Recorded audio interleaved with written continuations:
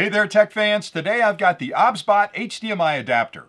This clever little product allows you to use your webcam as if it were a full-size DSLR camera because it automatically converts the video signal from the USB-C connection into an HDMI signal that you can feed into your recording and broadcasting software like OBS or really any device that requires an HDMI signal. It comes in really handy if you're doing video streaming and you need a second camera you can avoid the cost of buying another DSLR by using your webcam as if it were a DSLR and actually generate that HDMI signal.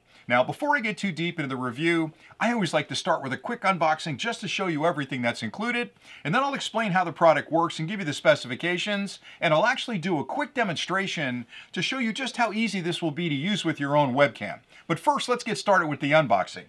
Now, this is going to be really quick because there's not a lot inside the box. So when you first pop open the box, you'll find the HDMI adapter, You'll find a really nice, really long USB-C to USB-C cable. This unit needs power, it needs a webcam connected, and it has an HDMI output. You can use this for the power.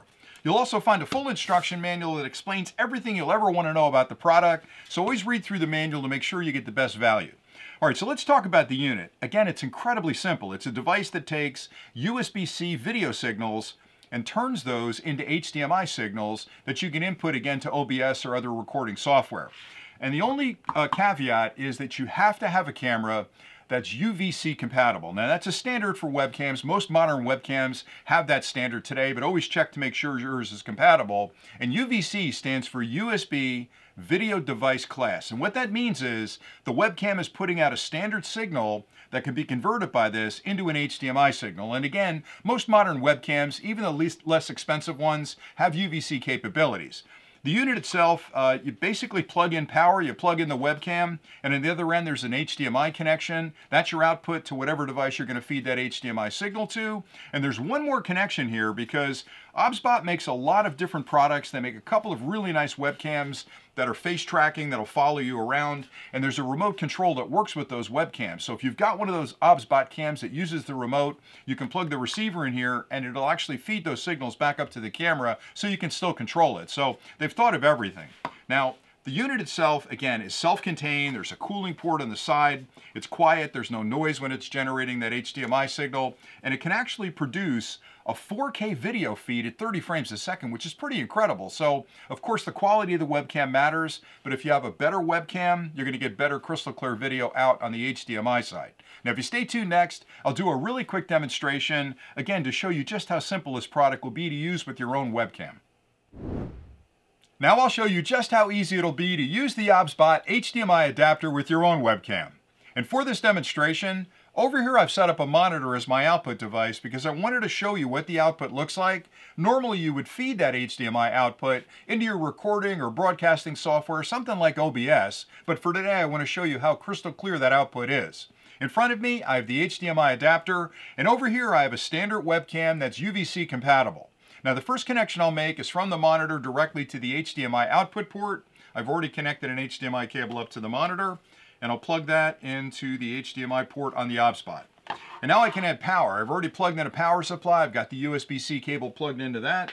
And I'll plug this into the power port on the OBSBot.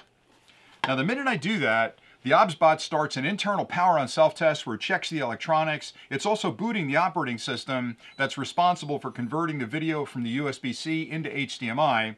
And you can see the logo just popped up here. Now it's checking the resolution of my webcam, which I don't have plugged in yet, and the output resolution of the monitor to make whatever adjustments are needed to give you the best possible HDMI feed. Now I'll plug in the webcam on the other USB-C port. And it'll take a second for the self-test to finish, but what it's going to do is make adjustments to give you the best possible picture between whatever webcam you're using and whatever output device is receiving that HDMI signal. And again, it takes a couple of seconds for that to happen. Once that finishes, there you go. There's the video. So you're watching video from the webcam. I mean, that is a really nice image right there. No latency whatsoever. So think for a second about how you can use this if you're doing video streaming. Having this as an overhead camera to do your overhead shots, it works really, really well. And what you're viewing here is video content over this USB-C that's been converted into an HDMI signal, again, that you can display on a monitor or you can send to your recording software. And it really is just that easy to get it working. I think this product can come in really handy for a lot of people that are doing that type of broadcasting or if you've got live streams going. And it allows you to use a less expensive webcam in place of a really expensive DSLR to accomplish the same thing. And that's pretty much all I had for today. So I hope you found value in this review and thanks again for watching.